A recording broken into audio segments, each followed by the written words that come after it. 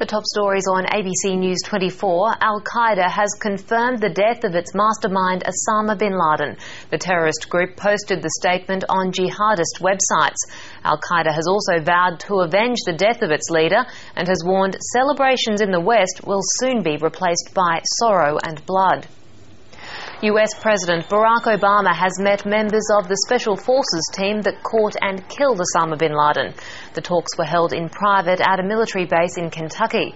President Obama thanked the team for a job well done. There are reports at least 30 people have been killed during anti government protests in Syria.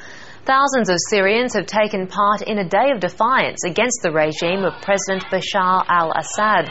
Deaths have been reported in the cities of Homs and Hama, bringing the toll to at least 500 since the protests began. And a coroner in Britain says London is woefully underprepared for a terrorist attack at the 2012 Olympic Games.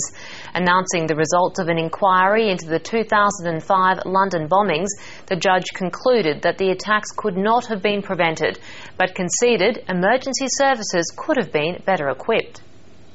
And those are the latest headlines from ABC News.